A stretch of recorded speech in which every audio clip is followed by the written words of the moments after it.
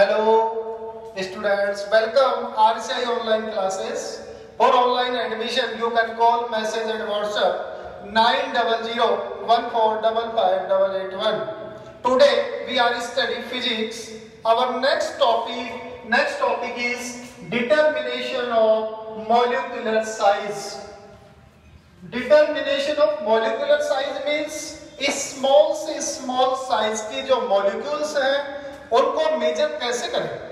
उसको मेजर करने के लिए हम एक मेथड यूज़ करते हैं। उस मेथड को बोलते हैं ऑयलिक एसिड मेथड कौन सा मेथड बेटा?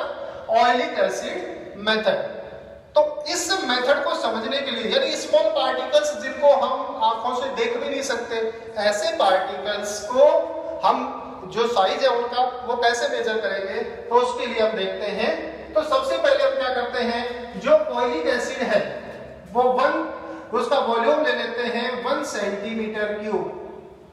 One centimetre cube oleic acid लेंगे हम। क्या लेंगे बेटा? One centimetre cube oleic acid और one centimetre cube oleic acid में हम 90 सेंटीमीटर क्यूब एल्कोहल मिला देते हैं। Clear? One centimetre oleic acid में 90 सेंटीमीटर क्यूब एल्कोहल का एक सॉल्यूशन बनाते हैं। तो वो सॉल्यूशन जो बनेगा, उस सॉल्यूशन को हम बोलते हैं 20 centimetre cube solution one centimetre cube और 90 सेंटीमीटर क्यूब एल्कोहल उनका सॉल्यूशन बनेगा 20 सेंटीमीटर क्यूब क्लियर एक ऐसा ही सॉल्यूशन और लेते हैं। वन सेंटीमीटर क्यूब वही आपके पास ऑयलिक एसिड और 90 सेंटीमीटर क्यूब हम ले लेते हैं इसमें एल्कोहल तो वही सॉल्यूशन आपके पास बनेगा। 20 centimetre cube clear? Oleic acid और एल्कोहल का सॉल्यूशन है 20 सेंटीमीटर क्यूब क्यूब में क्यों लिया बेटा?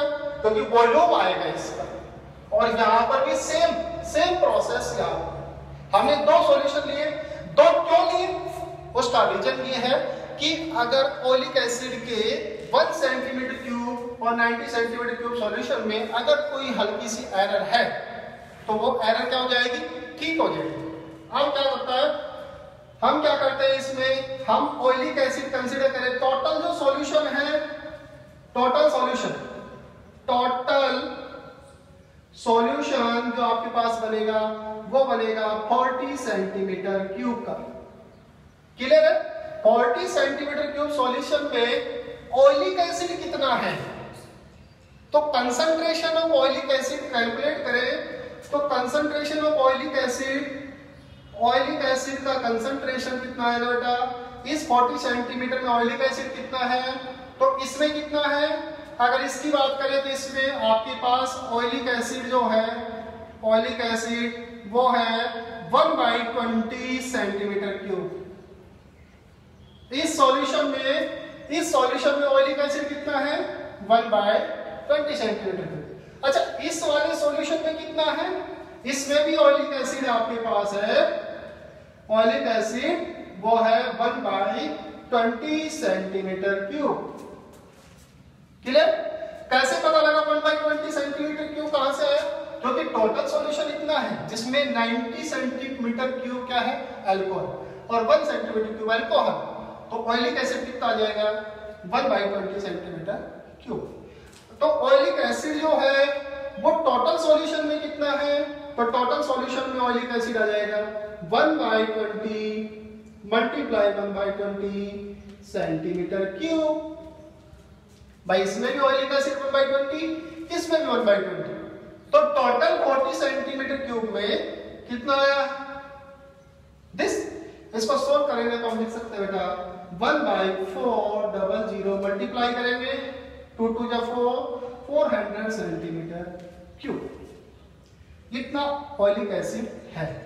अब ऑयलिक एसिड का जो मॉलिक्यूल्स है, उसको हम उसके मोलिकुलर साइज़ को कैसे कैलकुलेट करेंगे, इसको नेक्स्ट मेथड में हम देखेंगे तो बेटा ध्यान से समझेंगे। देखो इधर। यहाँ पे हम एक बकेट ले लेते हैं। उस बकेट में आपके पास वाटर है। ये बकेट और इस बकेट में क्या है? वाटर है। और वाटर और यहाँ पे हम लगा देते हैं ब्यूरेट ब्यूरेट केमिस्ट्री लैब में हम यूज़ करते हैं ब्यूरेट इसमें यहाँ पे स्टैंड होता है। और इसमें हमारा 40 सेंटीमीटर क्यूब का जो ऑयलिक एसिड है, ये हम इसमें फिल कर देते हैं। ये ऑयलिक एसिड हमने इसमें फिल कर दिया। ठीक है? यहाँ तक ये इसका 40 सेंटीमीटर क्यूब जैसे ही इसको ओपन करते हैं यहाँ से ओपन करते ही drop by drop oleic acid इस वाटर पे जाएगा। और ड्रॉप बाय ड्रॉप इस पे जाएगा तो ये जो वाटर है इसका क्या होगा? ये स्प्रेड होगा, जिसमें एल्कोहल डिजोल्व हो जाएगा। ठीक है? क्या बचेगा यहाँ पे? ऑयलिक एसिड और ऑयलिक एसिड क्या बना लेता है बेटा यहाँ पे? ऑयलिक एसिड एक थिन लेयर बना लेता है इस तरह से। अब बहुत सारे बच्चे ये सोचते हैं या सोच रहे होंगे कि ऑयलिक एसिड ही यहाँ पे सर ने क्यों यूज़ किया है? ऑयलिक एसिड हम इस तरह से समझ सकते हैं कि अगर हम कहीं पर रेत डालते हैं तो रेत क्या होता है? एक ही जगह इकट्ठा हो जाता है।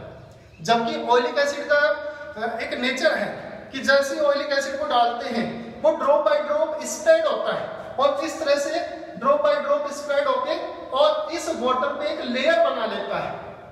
लेयर बनाने से क्या होगा? इस पे ये थिन लेयर बन जाती है और ये थिन लेयर इतनी थिन होती है कि हम इसको कह सकते हैं कि जैसे हमारे पूरी जो नोटबुक होती है, उसमें एक पेपर होता है, उतनी उससे भी हल्की थिन फ़िल्म बनती है।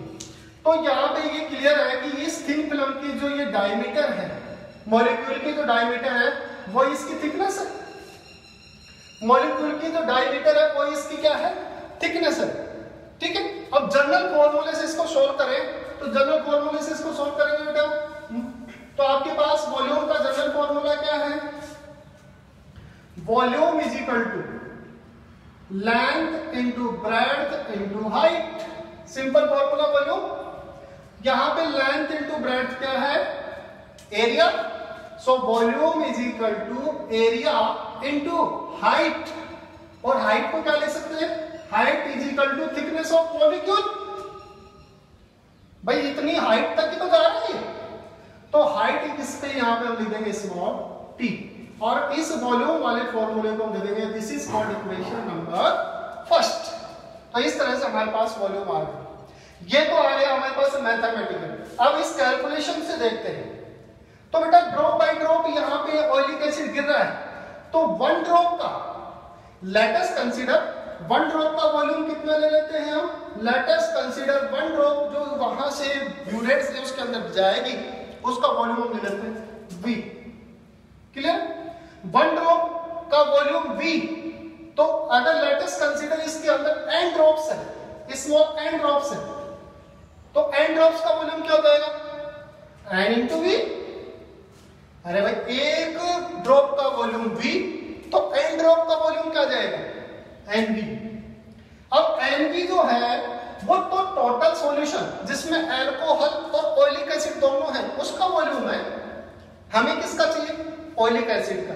ऑयलिक एसिड का वॉल्यूम चाहिए तो ऑयलिक एसिड कितना है इसमें वन बाई अभी अपन ने कैलकुलेट किया था फोर हंड्रेड बोलेगा सब लोग centimetre cube clear this is V किसका? Oleic acid this is called equation number second equation first और सेकंड से सॉल्व करें तो ये भी वॉल्यूम की इक्वेशन है, ये भी वॉल्यूम की इक्वेशन तो एलएचएस साइड इक्वल है। तो इक्वेशन फ़र्स्ट और सेकंड की आरएचएस साइड में क्या होगी? इक्वल तो from equation first and second we can write a into t is equal to nv multiply 1 upon 400 centimetre cube हमें क्या चाहिए? हमें मॉलिकुलर साइज़ चाहिए और मॉलिकुलर साइज़ ये है तो हमें इसको क्या माना है हमने थिकनेस को? Small T so small T is equal to N B ये ए का आ जाएगा अपॉन में? Upon A into one by four hundred और थिकनेस सेंटीमीटर में आएगी. This is the this is the size of molecular this is the size of molecule और method कौन सा है? Oily acid method. Okay, thank you so much.